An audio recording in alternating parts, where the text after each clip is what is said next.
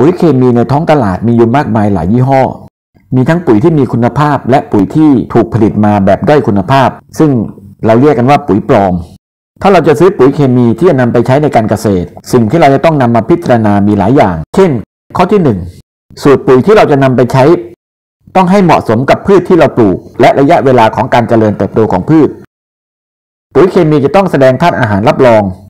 ไนโตรเจนทั้งหมด ฟอสฟอรัสที่เป็นประโยชน์ และโพแทสที่ละลายน้ำรวมถึงธาตุอาหารรองและอาหารเสริม ถ้ามีก็ต้องระบุด้วย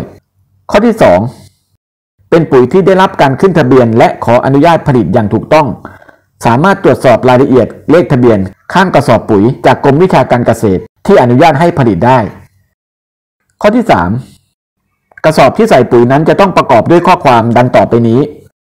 มีชื่อร้านค้าและยี่ห้อชัดเจน มีหมายเลขทะเบียนของผู้ผลิตหรือจำหน่าย ระบุคำว่าปุ๋ยเคมีอย่างชัดเจน มีที่อยู่ของบริษัทผู้ผลิต ต้องระบุสูตรที่แน่นอน บอกน้ำหนักสุทธิหน่วยเป็นกิโลกรัม ซึ่งอาจจะมีทั้ง 2 แบบทั้ง 25 กิโลและ 50 กิโล ระบุข้อแนะนำในการใช้งาน เพื่อให้เหมาะสมกับสภาพพื้นที่และลักษณะการปลูกและเทคนิคอีกอย่างที่ผมเอามาใช้เป็นประจำ จะผิดถูกก็ลองเอาไปพิจารณาดูนะครับ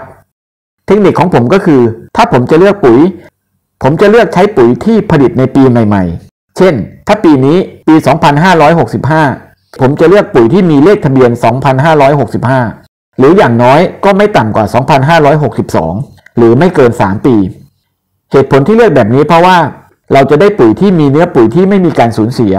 ถ้าปุ๋ยนานเกินไป เนื้อปุ๋ยจะมีการสูญเสียไปบ้าง ยิ่งผ่านไปหลายปีก็ยิ่งมีเนื้อปุ๋ยน้อยลง เราจึงควรเลือกใช้ปุ๋ยที่ผลิตในปีใหม่ๆ จะดีกว่าปีเก่า